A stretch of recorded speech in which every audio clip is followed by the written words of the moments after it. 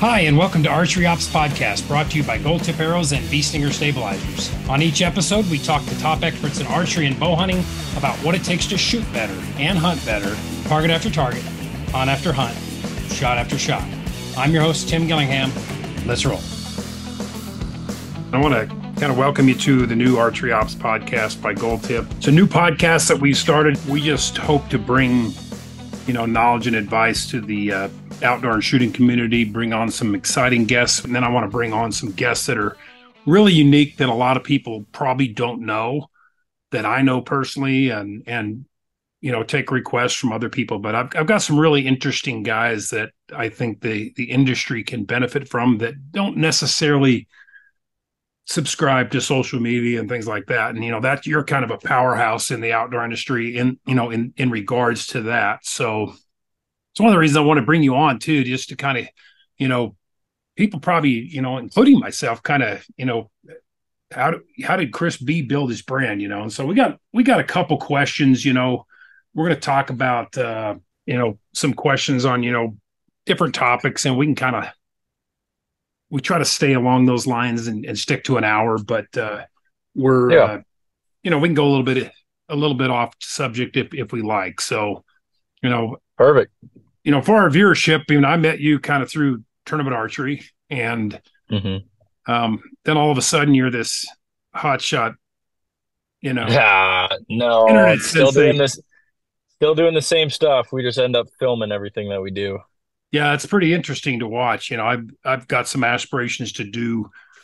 And not necessarily that I have these great aspirations to do it. I just feel like it's irresponsible not to leave what I've learned to the archery world and yeah. sometimes I like to crawl under a rock and not come out from underneath it, but that's just not, I guess, what I've bargained for. Yeah, I mean, it's uh sometimes I wish I could do that too. Sometimes I wish I could delete social media and everything altogether and just take a break for a while. yeah. But, yeah, it's just I come home yesterday and I feel like I've been on the road since for 7 months. I just it's yeah. Because I I drew an elk tag in Utah, so we got straight off of the uh U.S. Target Nationals, and two days later into the into the mountains or three, and it was just crazy. I saw that. Yeah, did you end up killing one or no? I didn't, man. I mean, I didn't. Uh, Isaac uh, come down from BC and filmed it for me, and he just nice. wanted to come down and hang out. I'm glad he did because it was it was good hanging out with the kid. He was he's he's only 18, 19. He pushed me pretty hard, so you know, I never that kid's just man. He can go up and down them hills like nothing. Probably like yeah.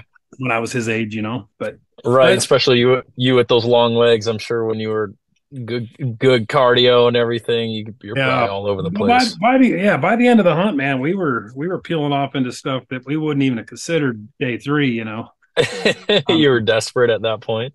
Well, that unit's just brutal, you know, and where the elk, a lot of the elk were, you know, it was just 1500 vertical down, a thousand vertical up and up and down and back. Yeah. And it's just, oof, that'll wear a you lot. down. Yeah. Waters, all the waters in the bottom, you know, it just, you know, we spike camped out. You know, we had a great hunt. It was just one of those hunts that I think one of the few hunts that I've been on, I didn't get anything, but I felt satisfied. Yeah. You know? There's a lot of pressure to perform, you know, in the industry, you know, if you're a sponsored shooter or such and such. And I'm sure you feel the same thing. But uh, let's kind of delve into our first topic. You know, you've been on some I've noticed some pretty good hunts in the last couple years. You know, you did a what Alaska moose, is that right? Yeah, moose hunt last year. Um, then went on a couple more this year. We did uh, caribou, caribou, and then ma- mountain goat. Yeah, this year. Where'd you go mountain goat? Uh, northern BC. Oh, so you went up where the big boys are. Did you get a good one? Yeah, I did. Um, it was 47. 47, that's cool. Yeah, so it was good. It was a I it's it's a funny story. We ended up shooting it on our first actual day of hunting, um, hmm. which we had we had 12 days allotted. So it's like we shot them right away, but it was literally we shot one as fast as we possibly could. Like we hiked in, we got dropped off um, by a float plane, and then uh, we hiked like five and a half miles in, spike camped, and then where we wanted to go was like another two miles. Um, and next morning we hiked up that way, like pretty much right at, you know, seven o'clock in the morning or whatever. got there at like 11. It was our first glassing knob. We sat down and it was like, boom, there's two goats, you know, maybe 1500 yards, 2000 yards, uh, down and up. They were bedded in this like rock face. Um, and one was the one I shot. And then there was another Billy that was well over 50 inches. Um, so like a really, really nice, really old one. And uh, long story short, we got in position on them. They kind of moved and we got in close. And uh, my guide was in front of me. And then it was me and then camera. So it was like the three three musketeers just going in slow. And we closed, we took boots off at about 100 yards. Um, they were bedded right up over this little cliff. Um, and we got in like, you know, where it's like, okay, they're like gonna be right here, sort of thing. And sure enough, the guide's like, right here, right here, 30. And that's all he said. And one Billy stood up out of his bed and uh, I didn't even have an arrow nock because we didn't even see him or anything yet. So I nocked an arrow quick and just drew back and I shot. And right when I shot, there was uh, the rock edge was like 15 yards close. And right there at 15 yards, the big 50 plus inch Billy stood up um, right there. And that was the one we were going in after. I mean, they were both great. The one that ended up shooting. Yeah, was, it's was hard great. to tell. I mean, that's that's there's not a massive amount of difference between a 47 and a 50 inch goat. No, there wasn't. Uh, the, the one I, the one was probably closer to like 53 to 55. The guide was saying. I mean, he was he he was a world class goat. Yeah. Yeah, that's a monster. Well, I think the world record with the bow is 57 or 58, and I mean he the guide was like he he used to guide um down in southern BC um at uh where I forget the place he used to guide, but 26 years of uh, bow hunting goat experience is what he's had, like guiding bow hunting goats. So he's killed, I mean, dozens and dozens and dozens of goats, and he was like that was the that was one of or the biggest goat he's gotten within shooting distance. So that was kind of disappointing. But I was like, hey man, I'm, like you said, it's like there's not much telling between the two goats. Like yeah, I'm I super guess- pumped with it. He's Pope and Young. Like I'm all yeah, about it. that's yeah. I mean, it's uh, that's a taxing hunt. I I drew my tag in Utah here about three or four years. I've killed three of them with a bow, and nice. but what killed me was that freaking elevation, man. We were camped Oh at 11, yeah.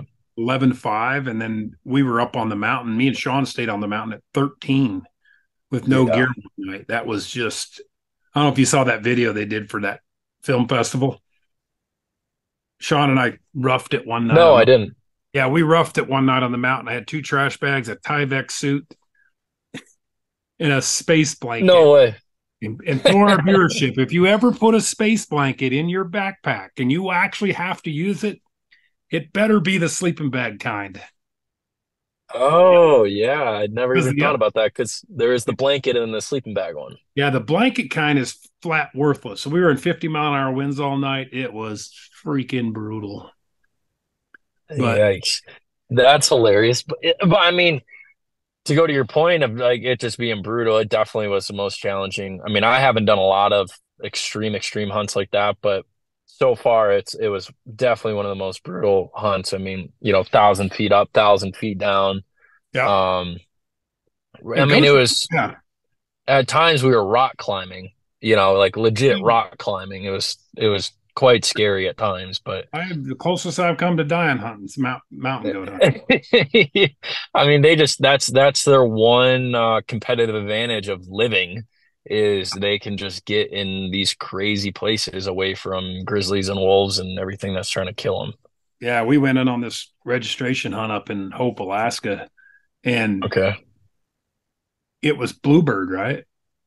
We get up there when you take pitch camp, take off. I went with my buddy and I don't know. We we crested this ridge. Right before we crest this ridge, we hear this rifle shot. I'm like, what the hell?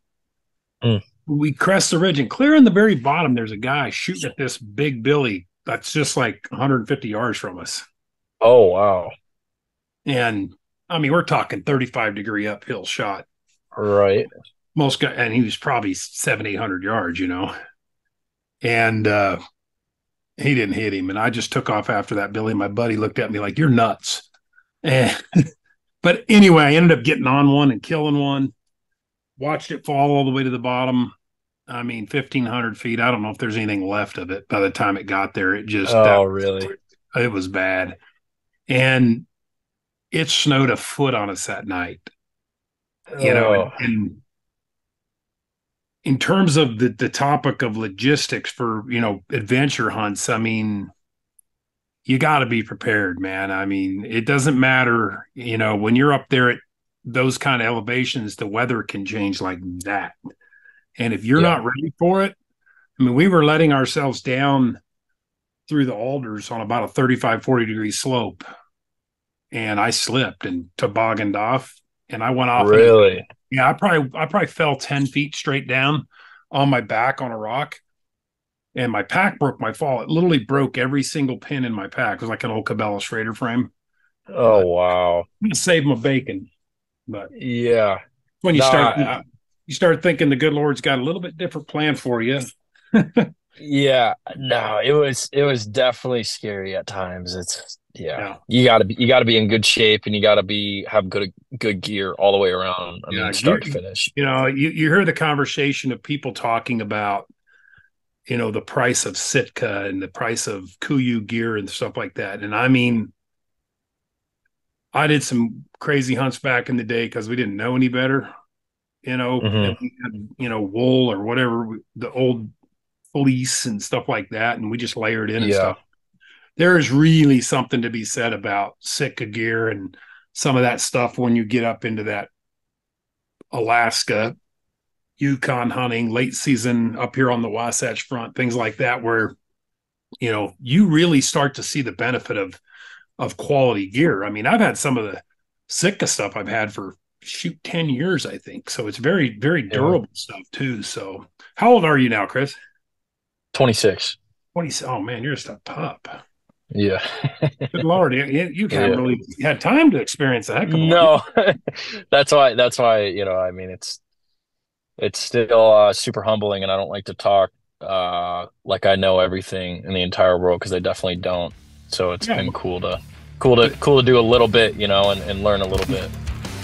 I get this question a lot. How important are my stabilizers? Well, stabilizers probably one of the most important things on my bow. Its job is to control the motion before, during, and after the shot. That helps us hold steady. It helps hold the bow still while the bow is loading and unloading from full draw to static. And it also controls the bow against our mistakes, so it makes it more forgiving. With Bee Stinger, you get a lightweight high modulus bar with vibration dampening built into the bar. This is very critical in terms of getting the most out of your stabilization system. If you want to learn more, check out beestinger.com.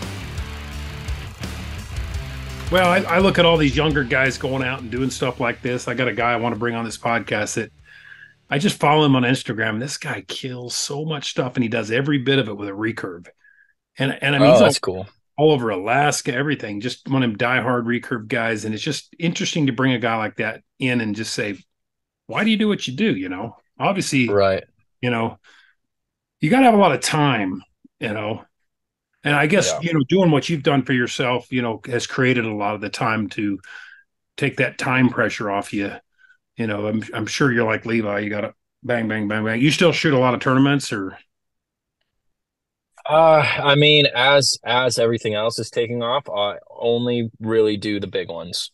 You Yeah. know, I'll do an ASA or two a year. I'll do Vegas. I'll do, you know, maybe a couple other random ones just to stay in it because I do enjoy it. I mean, I love it. I've been doing it for so long. Um, but it's so time consuming, like you know, and and it, you know, just like yourself, if you halfway did something, you would be not happy with it. So I get really Right. frustrated. I get really frustrated because I don't have the time to practice. I don't do anything, and then it's like I show up and I just kind of shoot okay, you know, and Yeah, then it's I- like, I, think about you know Levi how he comes off the year. Now I shoot probably twice as many tournaments as he does, but you know, and, and then he goes straight into hunting on film. I don't know that I would like that personally. I don't know that I like hunting, but I don't know if I like it that much. yeah, he he does a lot, man, and I think the same thing. It's like, geez, it's high level competition, obviously, and then like straight into. I mean, I think he shoots you know, like 12, 12 bucks or like, you know, antlered things a year, give or take. It's just yeah. on film. I mean, that's just, it's yeah. nuts. It's so nuts you, what he you does. find you do you find planning for a trip with camera guy and everything much more difficult. It's it's something I think that people have to really be aware of when you when you go to Alaska or something. It's logistically it can be tough. I mean, like I got up caribou hunt last year and I couldn't find my KUIU bomber hat and I couldn't find my puffy jacket. I think mm. they got mm. stolen in the airport, but those are two oh. key, key essential pieces of gear so, you know, things like that, you know, I, I, I look at it like, well, I want to make sure I have at least two beanie style hats. I want to mm-hmm. make sure I've got, you know, maybe a puffy vest and a puffy jacket. But I had a puffy vest, thank God. It kind of saved my bacon, but really, yeah, stuff just kind of disappeared somewhere along the way. Yeah, it's uh man, planning for planning for a trip like that, especially it's it's tough. And if you're planning it by yourself, if it's like a DIY, like let's say you drew drew a goat right. tag or drew drew something, it's it's a little bit different than like going with an outfitter because at least when you when you go with an outfitter, you can talk with them. Hopefully, you can get the number to the guide you're going with, and you can kind of talk to them. Um, but one big one big takeaway that I got from my guide, who's been doing it forever, I, I I'm just like a sponge, just asking him peppering questions. He probably got annoyed with me, but uh, you know, he's he's the best in the business when it comes to like archery goat hunting. So I was just like, what? Where do you, where do you see people messing up the most? And what he said is, it kind of threw me off. He's like, people bring too many pants. He's like, people come up here with two pairs of pants, and he's like, it's just not necessary. It's like you have, you want one light pair of pants because it's a very at least for the like August, September go hunts, you want one light pair of pants um, that you're hiking in constantly or whatever. And he's like, you don't need a backup because you have puffy pants, uh, like the three quarter puffy pants, because if weather gets cold, you need those. Then you have rain pants. He's like, those are your three pants, but people will bring like you know, some timberline pants and then some mountain pants and then some ascent pants because they're like, well, maybe right. I'll get a hole in one or whatever. He's like, no. He's like, yeah, one you... pair of one pair of hiking pants, and if for some reason you rip them off, he's like, you have your rain pants or you have your puffy. Like he's like, yeah, that's one thing I'd I'd caution people about is rain gear, man. Oh I yeah, that too. Alaska yeah. for eight years, and rain gear is man, even some of the high end stuff, you seem to always be wet when you're in the rain. yeah, it was. Uh, you know, I didn't wear it once in uh, Alaska or BC while I was there. I was very fortunate. We got good weather, but then we came back and for uh, I went elk hunting in Utah, and uh, man, it was nasty weather when we were there, and it was uh, some snow and and you don't think about it, but even if it rains overnight or rains that morning or afternoon or whatever, yeah. even if it's not constant rain, yeah. rain pants, rain pants are so huge. Rain pants and gaiters. Yeah. Because you just you wear them when you're busting brush or doing whatever. And uh, a lot of times, most most of the mornings in Utah, we had to wear them because it was that buck brush or you know waist high brush, and busting yeah. through it. You you needed them, or you were just going to be soaked, and then your pants get soaked, and they get into your socks, then they get into your boots, and then even if you take a couple hours midday to take a break or whatever, your boots are still soaked for the afternoon. So it's like you have to just stay dry. That's one irritating thing about most rain gear is the fact that they they're always like cinch cinch straps, and when you have to wear them like regular yeah. pants, I really like belt loops. You know, something to yeah. put on, you know. That's one thing I like about the Sitka stuff where the belt's sewed into it. You never have to worry about bringing a belt. You never have to think about that. I, I, do like that feature. There's it's like anything. There's good good and bad stuff about everything you'd like to tweak here and there, but uh yeah. Yeah, I pretty much ran like the dew point system, which is their lightest their lightest system. Yeah. Yeah. You know, that's good stuff, man. That's no doubt. I've got, I've got, I'm, I'm like, I'm not loyal to anybody. I got a little bit of, a little bit of that. yeah, which is good. I mean, it's all at the end of the day. Um, all high quality gear is is gonna do the job. Um, hmm.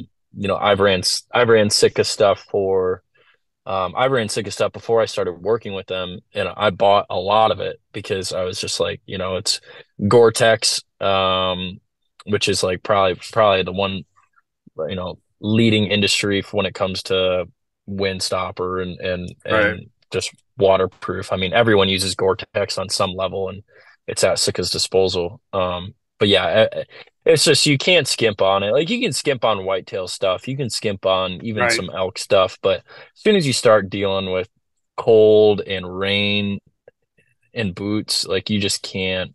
Yeah, really boots can't. are if I if I was ever gonna take something extra, it'd be boots. It seems like in Alaska, it's so yeah. When we did, so difficult to keep boots dry, but you know, when you're up sheep hunting and goat hunting, you just got to deal with it. You know, you I got to bought deal a, with it. Yeah. I had a pair caribou hunt last year. I paid buku dollars for custom made because I have giant feet. You know, Mm. I wear a 16 hunting so they don't blow Do you really? Yeah, Jeez. so I literally could not feel the front of my feet for probably two to three weeks after that hunt. Really? Oh, it destroyed my feet. I couldn't believe it. I was just, I was pissed off, really. Yeah. You know, and there's only one or two companies that build a boot that fit me now. So I'm back on my Kenetreks. So they, they're pretty good, solid boots. Yeah. So I've had I've had two pair of Kenetreks. Kenetreks are great. I did uh Crispi uh like Brickstone Mountain Extremes. Uh, you got lots or of options in your size, though. yeah, yeah, I don't have a size 16 foot. I have to shop at bigfeet.com, you know. I finally found a. I, I found a pair of you know when I lived in Alaska we used to hunt with Koflachs mountaineering boots. Um, they're a plastic boot.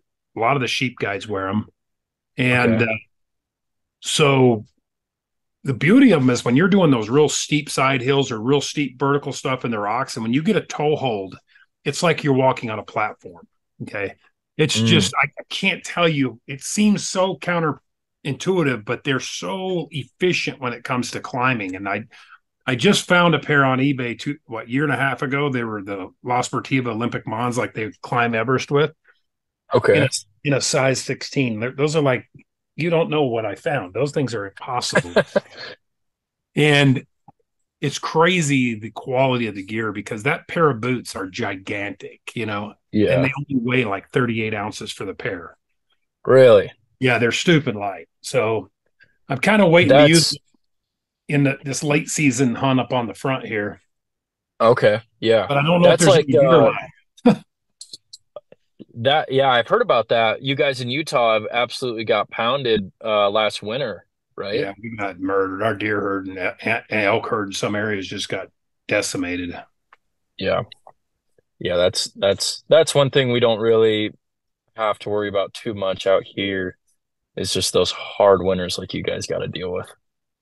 So what? Where do you? How do you do most of your whitetail hunting? You are you pretty much? Where do you live at anyway? Uh, Iowa, Oh, right outside, right outside Des Moines.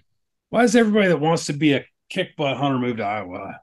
Well, my situation wasn't a hundred percent. It was definitely a factor to move here because of hunting, but uh, my Uh, girlfriend Caitlin, she lived in Kansas City, and I lived in Michigan, yeah, and she didn't want to move to Michigan, and I didn't want to move. Or it's not that I didn't want to move to Kansas City. I just said if I'm gonna move, I'm gonna move to Iowa.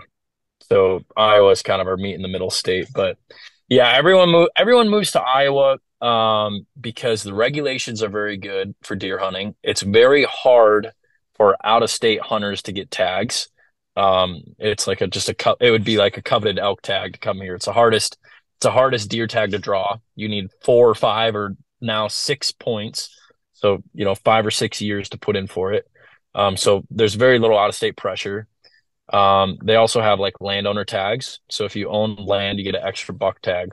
So if you're like a bow hunter guy and you own land, you could kill three bucks a year with your bow, which is the most out of any state. I think you can only kill unless you get like some special draw tags or something.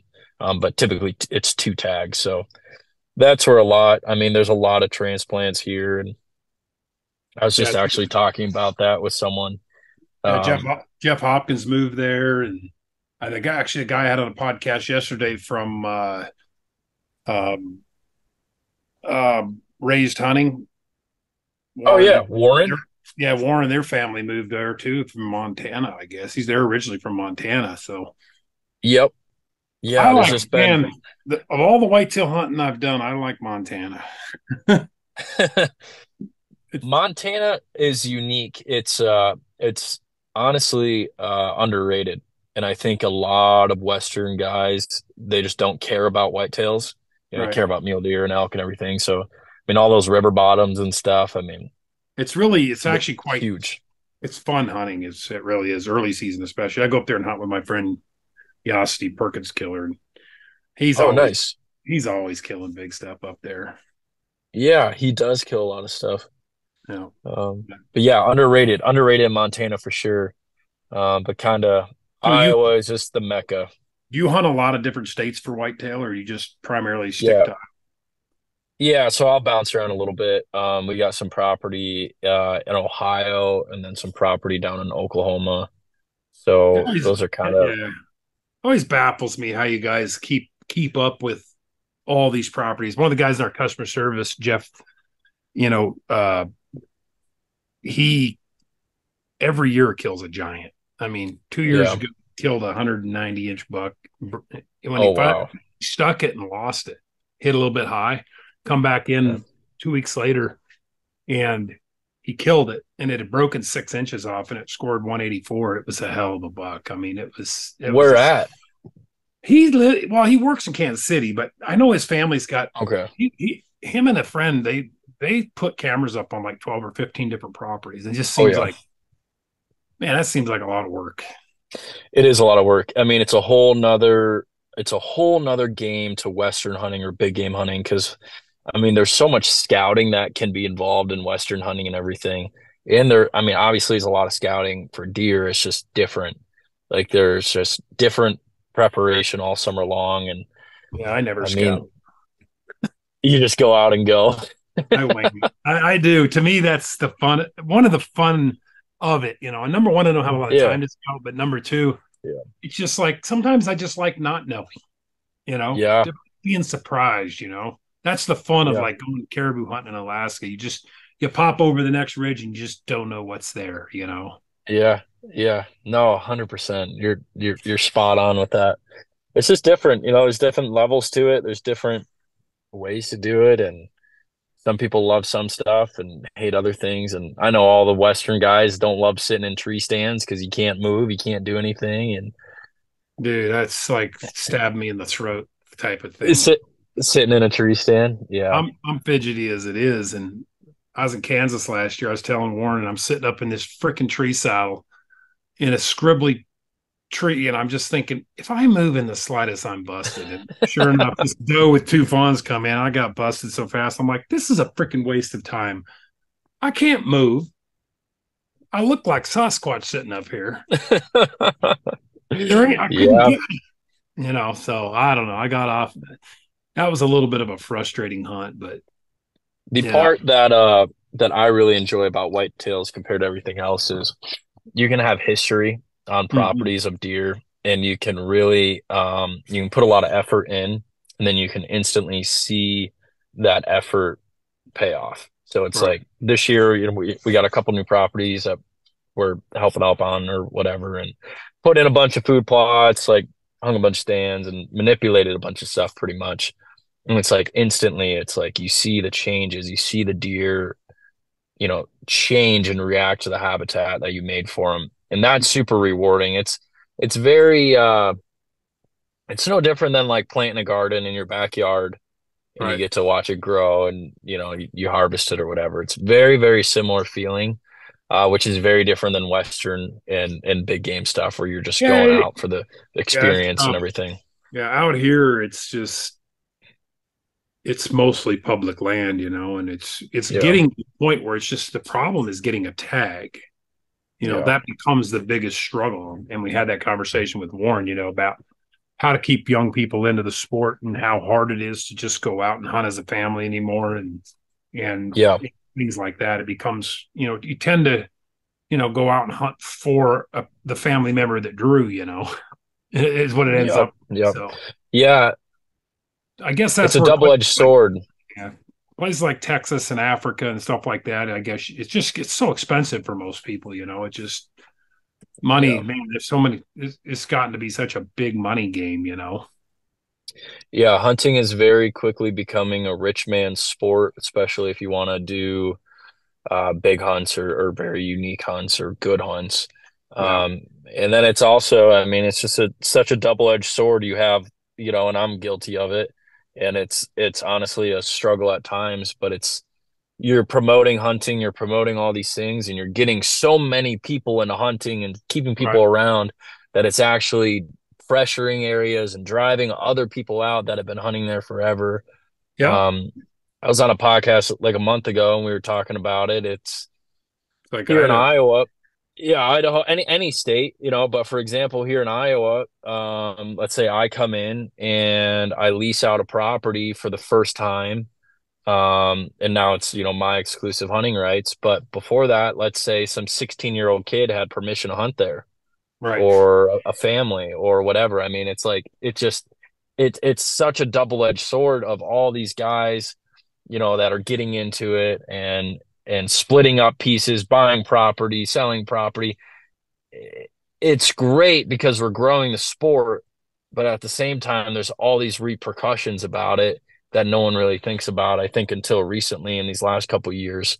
Um, so I don't know. Yeah, it's it's such a weird, such a weird topic.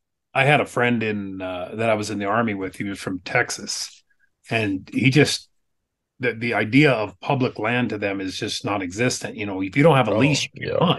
You know, and Yeah. and so that's kind of where it seems to be be headed. So I don't know. Yeah. I'm getting to the age where I want to do cool adventure hunts. You know, I one of my guys sent me a picture or a video of bo- you know hunting red or uh, fallow deer in the rut in Bulgaria. I was like, man, Oh, that looked like unbelievable.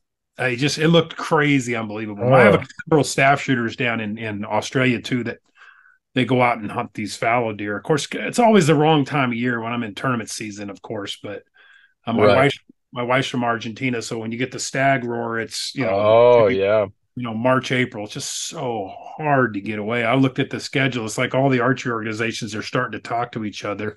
And so now there's like hardly any overlapping tournaments anymore. So you're just gone all the time. So we got to keep moving Yeah. moving on here. Um, second question I had for you is like, how do you think that preparing for, or I mean, has your your competitive shooting career helped you become a better bow hunter?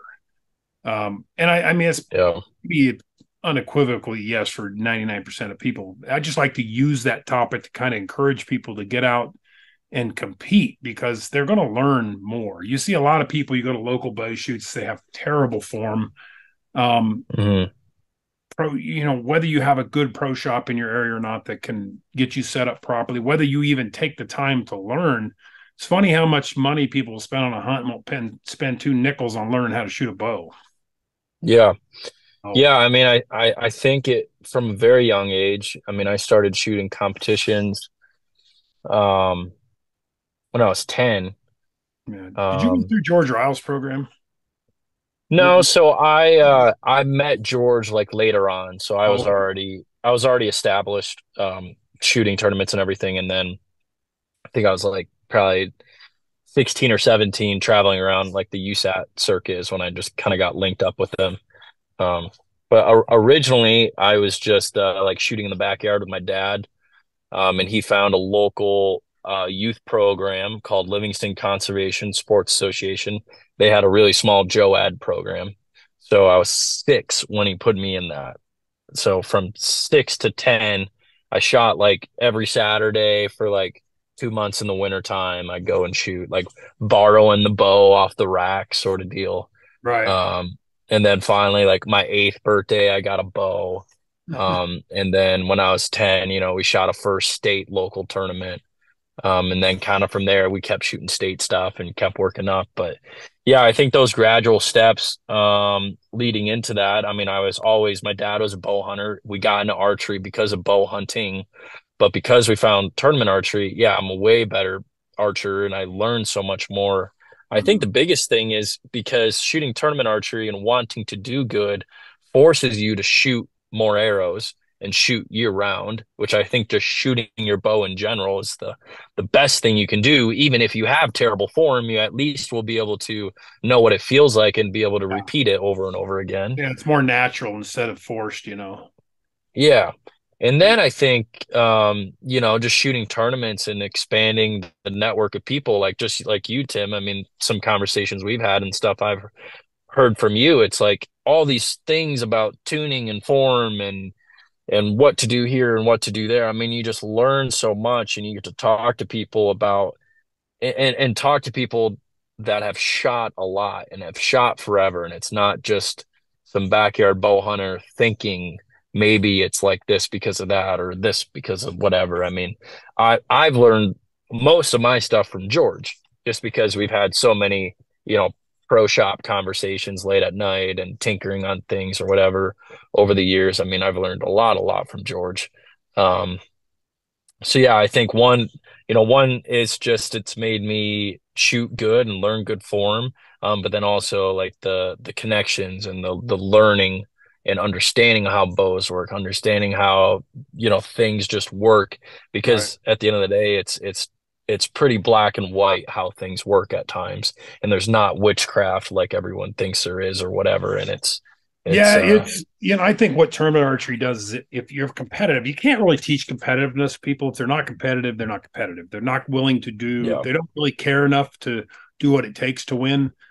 Um then they're probably don't have the personality to persevere through that but um i think what you know for me personally what is what has taught me more than anything is that I just wanted to get better. I wanted to win. There was that incentive mm. out there to make me try to figure out what was wrong. And some of it was my draw length. I experienced more problems than than I think other people would. Yeah. Uh, mm-hmm. More tuning issues, more sight leveling issues, more uh, things like that, just because of the length of my draw length. But I also have that innate nature. I mean, I see the same thing happening. I always joke around that we're the industry's dumbed down to the 30 yard whitetail bow hunter. And a lot of the products and stuff are just yeah. good enough for that instead of, and I think a lot of bow hunters kind of sell themselves short.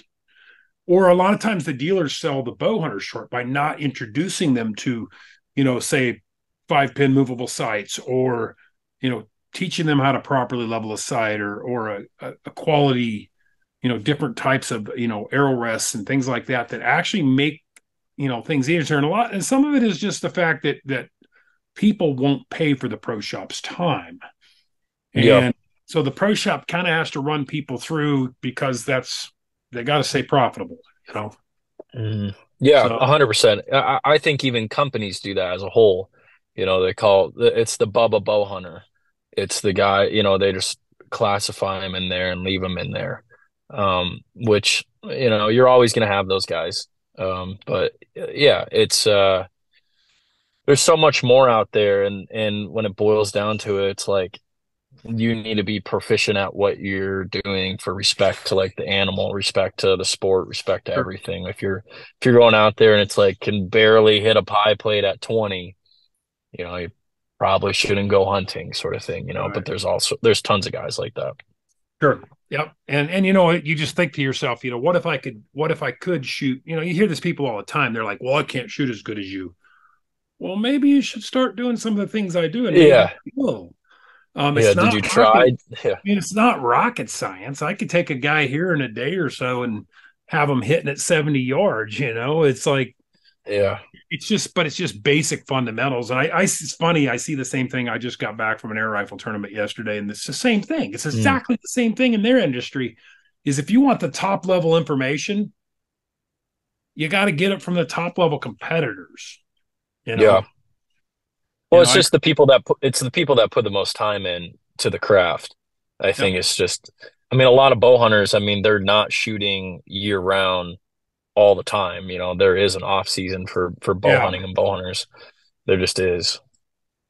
Yeah, yeah. You know, I, I'd recommend guys get at least three months ahead of bow season, but it depends how proficient you are. If you spent your whole life competing, you know, like I have, it's not that hard to get a bow together and be really accurate for hunting. I mean, I it's Yeah. not not that difficult. I mean, there are things to consider that people don't consider that have less technical expertise. And I'll give you an example of this.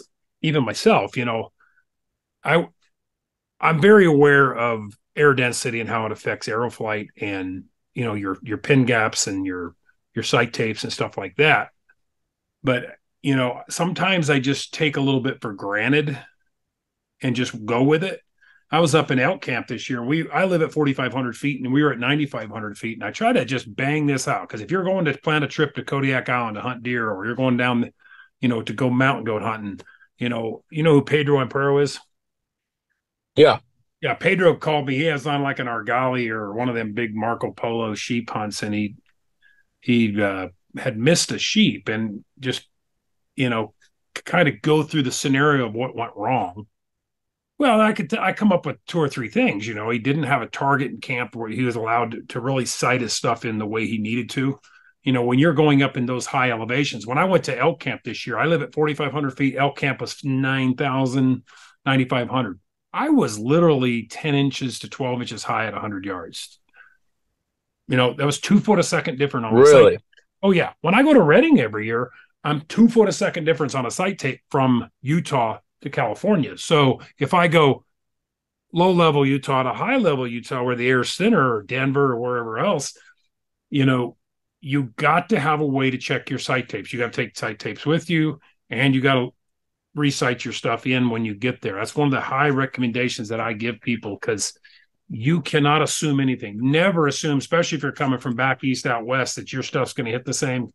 Come prepared. I mean, I use uh preci- there's a guy, new guy out. It's called Precision Cut Archery. Have you heard of his program? No, I haven't.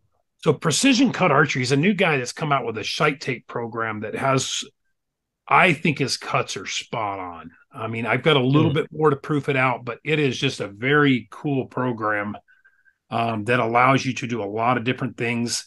And and that's one thing I'd recommend to bow hunters. If you're running, don't rely on a shop to print you a sight tape. It is not that difficult. It costs 20 bucks a year or something like that to to have this, you know, program to print sight tapes and learn how to manipulate them. Yeah. So when I go on a hunt, I take a sheet of sight tapes with me and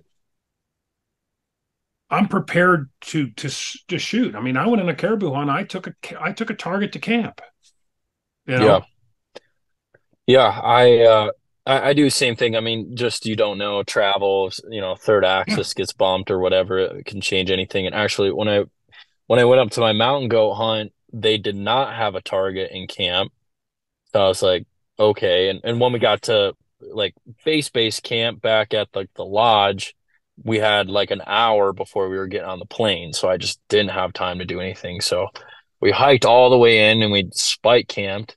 And I'm like, man, I really want to shoot my bow, like just to for my own self confidence or whatever. So I found this little tundra spot and I checked it for rocks or whatever. And I stepped back to 40 and I just shot one and I, I hit right where I was aiming. So I was like, okay, I'm at least, you know, 20, 40 yards. And, And that and that's you know, beyond that, I didn't Yeah. know. That's frustrating to me that outfitters and guys don't think about, especially bow hunting outfitter guys. They don't think about that because Yeah. there's nothing worse than missing an animal because you didn't you want to prepare but you don't have any way to prepare you know i Yeah. and you're not going to be able to go on a hunt for hard for seven eight days in the mountains and not fall once or twice and wonder if you just jack something up You Yeah. know, one of the reasons i Mhm. shoot the rest Yeah. 100%. yeah. One of the reasons I shoot the rest setup I do, the site setups I do, I want to be able to.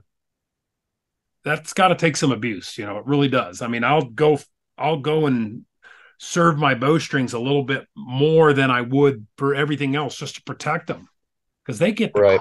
beat. I fell on mine this year, elk hunting, and cut two strands. You know, and it's just like, Oh, really? yeah, I was on an elk hunt one year and I fell on the yoke and cut all but four strands of my yoke. And I'm, we got a 350 bull coming into a wallow, and I mean, we got him. He's, I know where he's headed, Ugh. And and I just watched the marks on my cams just start to creep, and I'm like, I can't draw that bow back. I'm done. Oh gosh, that that sucks. And I was done, man. And it just so, it just you got to be prepared as much as you can. You know, you're going to Alaska. I would, you know, carry a what they call it, a Cinam bow press. You familiar with that? Yeah. Yep. Uh, it's actually made in Argentina, and this guy made a little rope press. It's called a Cinam press. You can get them through Lancaster Archery. Um, it's a great portable bow press for you guys if you're going on backcountry hunts. Uh, you know, allows you to to at least work on your stuff. If you do have a spare string, you can get something back in semblance of order. So, um, yeah, when I went when I went to Alaska and to BC, I just had a, a little pouch of I had an extra set of strings, and uh, for Mathews, they have that cable where you can press the press the bow with just that cable. So right. if we needed to swap anything, we could do that. Had an extra rest, just like a a, a smaller like QAD rest, not the bolt on one, or it was just the bolt on one, just in case. Some serving, some glue, you know, just like sure. if something bad happened, we could maybe put it back together. Yeah, and if you're a guy that relies on a bow shop to do all your work, I mean, you're just going to feel like somebody just destroyed your hunt, you know. And you, but where, yeah, where I, had, I, I had, you know, on my caribou hunt, I kind of made a mistake where I cut my arrows because I'm always like my arrows are always weak, you know, and I'm I'm cut them really yeah. tight to the rest, and I ended up putting a biter nock on just to give me a little more length, and I I just told myself last minute you should have bent the launcher up a little bit, get a little more room. And I get unhard on this caribou, and I, I shoot him at 66 yards, and I liver shot him, and I thought, I, I, and then I could not hit him with a second shot. I was just like, oh, really? I'm like, what the heck is going on here? It turns out, long story short, I was drawing the arrow up on the broadhead. Oh. So yeah. I had, I didn't freak out about it. I put the target up. I had come prepared. I used the thorn broadhead, so they have a really good practice system on it. And mm. I ended up, took me a while to get that thing dialed back in because the target wasn't stopping arrows all that well. And trying to dig them out of the tundra, man, it's crazy how far they go up under that. that yeah, that is not, that is not a good program. I've done that. No, no. I was panicking. Finally, I dug deep enough where I found four of them. I'm like, oh. but it was just stupid stuff. But you know, the more knowledge you have, the less you panic in situations like that. Oh yeah, you, know, you understand that. Hey, even if I bend the rest up, now all I really have to do is lower the rest until my impact point's the same at 50, and then my tune should be the same. So, right, if right. I'm not fluent with bows, that becomes much harder to do. So I mean, that's that's well, that's why it's good to like another reason to get into competition and everything because it forces you. I, I, guess some people don't, but it forces you to work on your equipment more because you're always tinkering, you're always doing stuff. And uh, I for sure wouldn't have learned stuff that I know if it wasn't for that and talking to guys and and forcing myself to work on bows. You know, yeah. I'd be the pro shop. I'd be the pro shop guy where it's like hey, I got a new bow, like bring it in. I mean, it's there's kind of, so so many so many big bow hunters still do that. I mean, most of them do. It's crazy. It, it really is. And I I really have aspirations of building a website and YouTube channel that you know is is basically I want to call it I can archery. I want to teach people I want them to understand it's not that difficult and give them a roadmap from A to Z on how to do this stuff because it can be intimidating, I guess. So, mm-hmm. Hundred well, percent. And I, I think I think that's the, that's the tough thing. Real quick before we move on, that's the tough thing. But I think it's evolving uh, because of you know what you're doing, just like with this podcast and everyone else is doing with media. That people are slowly building home bow shops.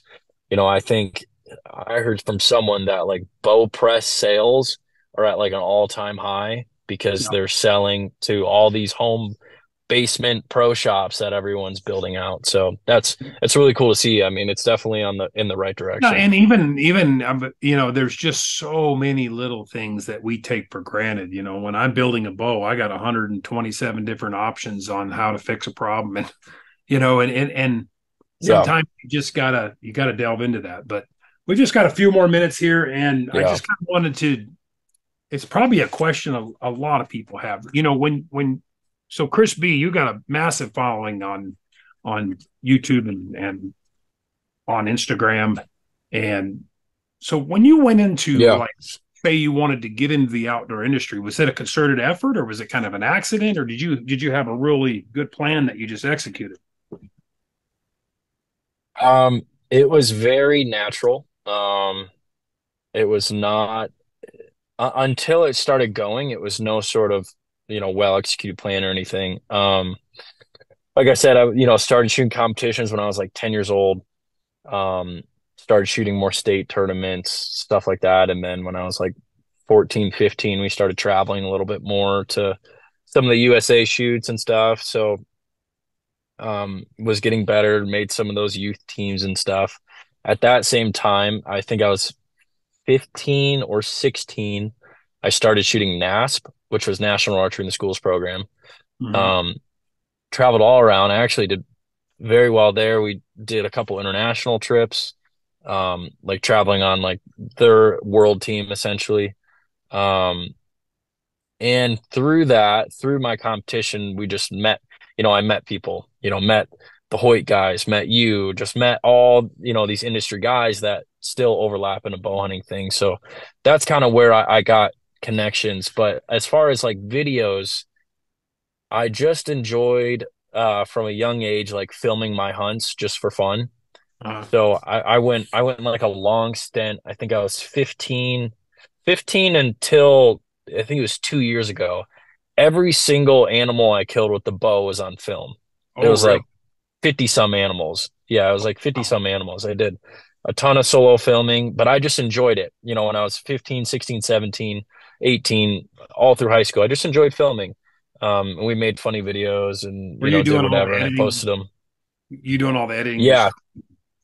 That to Yep. So all editing. yeah, Mhm. for me, that's kind of the Achilles heel, you know. It's like, oh, Well, you you can you can you can get an intern to do that stuff now. You yeah. can. Um, but yeah, I just really enjoyed it. You know, I I enjoyed the creative outlet um that it was, and I very much enjoyed um just filming hunts and whatever. So it wasn't until my second year in college, my sophomore year in college, where I was like, okay, you know, I maybe had 10,000 subscribers or something. Um, maybe tw 20, some super low. And uh I was like, you know what, I'm gonna dedicate one fall to filming all my hunts, making it something, and we'll just see where it goes. You know, and like no, no, it was all my own money. It was, you know, I, I, I bought all my own camera stuff, all that jazz. So we dedicated, actually dropped out of my college classes on the very last day I would get a full refund. It was like, I think it was like October. It was the first week of October And I think I was actually on the hunting trips and I dropped out because I was like, I'm gonna fail all these classes. I gotta I gotta drop before I get I get dinged for all the money. And uh I just dedicated a whole fall. Like I just went around and I filmed everything and uh you know refined my editing and we posted it and I mean it did it did good at the time and it did good enough to where I was like, okay, maybe this could actually be something. Um and from that day on, we just kind of rolled with it.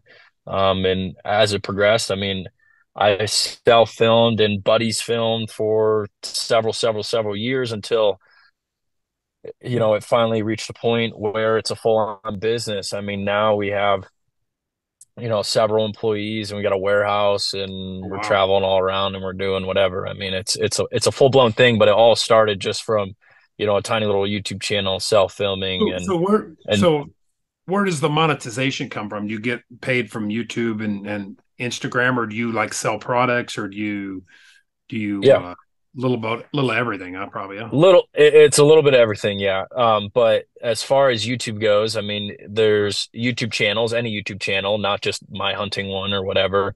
Uh, you set up for uh monetization, so AdSense revenue. So you allow Google to advertise on your channel, and then you just get a cut from that. So the more views you get, the more money you make. That's just it's very cut and dry. But that's that's that's very industry uh YouTube level. I mean anyone anyone can do that of Sure. regardless of what they do. Um and then yeah, my uh like B-roll merch. So I started that. Think it's been like four years now. We've expanded it into like hard good products and and whatever else. So we have our our e-commerce and we got a warehouse here in Iowa that we ship everything out of. Um, so that's definitely grown. And then, you know, working with companies and and working with companies has definitely evolved into uh, more like back end things. Like obviously working with UltraView, we've been I've been with them since the start in Colby, and right, you know, work with them on very much like day to day stuff. Um, and and Mathews and all all these other companies. It, it and that's where a little bit of like competition background and been around since you know I was a young teenager um, has really helped because I've, we've seen it and and and now it's target and archery and yeah, kind of getting into more back end stuff, you know. Interesting. I I think it was George or somebody mentioned to me one time about how many Mathews grips you sold, and I was like, "Holy crap!" It's uh it's quite a lot. yeah, it's pretty insane. I yeah, I, I I've started selling some 3D printed grips for Bowtechs and different bows, and I I mean I just kind of I I I don't get real serious about it, you know. But I mainly yeah. I, initially I wanted it for myself, you know. Hundred percent. Yeah. Uh, I ran into a guy over in France that does a pretty good job 3D printing and and uh little side cash, you know, pay for all my. Oh yeah. Yeah, no, hundred percent. I mean, there's there's nothing wrong with that. I mean, I think it's great. And I always say, you know, because obviously I work really tight with Mathews, and, and we make a custom grip for the bows that right. I shoot for or whatever. And so, yeah, that's got to like, be a pretty good gig. Yeah. yeah. Well, they're always like, ah, like you're shooting. They're fine. I mean, they're awesome. Um, but it's amazing. Some people love the stock grip and some people hate my grip and some people, you know, vice versa, but they right. land on something, you know, which is yeah, it's, it's funny. Great. It's very individual, yeah. Yeah, but it's great. It's great that you're making grips too. I mean, everyone everyone has their own unique feel. It's the only part of the bow you're actually touching. It should have the most customizability, in my opinion, because everyone's a little bit different. Uh, of course, there's there's bad options, but uh, yeah, it's it's there's no problem. I think I think there should be tons of customizability for them.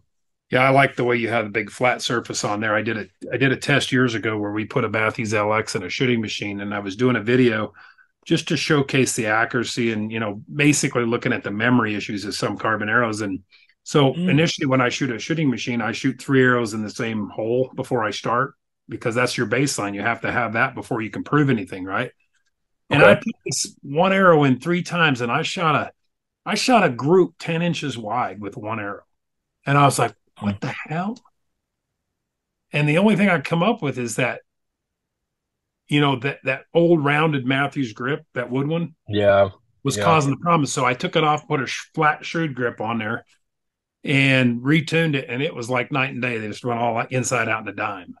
And really, oh yeah, I I, I just I preach that to guys all the time. I mean, I, I run a usually a fairly nice flat grip because it controls the load transfer. When the cable guards yep. unload, you have to slow that motion down, and a flat grip does it best. So, yeah. And I don't think a lot of you know new guys getting in the sport, they grab a bow, they shoot it, they they don't have any idea what to look for. It just feels good or it feels better than yep. what they have. So, but and I'm I mean I feel like that's why a lot of people you know there's certain products that I mean this goes outside of archery. When you use them, it just seems better or something's different. Like you don't maybe even intentionally go in it with good positive attitude, but you shoot it or you try. It's like, man, something I just like feel like my groups are a little bit tighter or it feels a little bit different. And I mean a grip, a good grip is definitely that. Like you don't really you don't understand why. Yeah. Um but it just does, you know. You know, I I I, prove it to people a lot, and, the way I do that is through paper. And I I tell yeah. I, I use that saying all the time: paper tells no lies. You know. Yeah.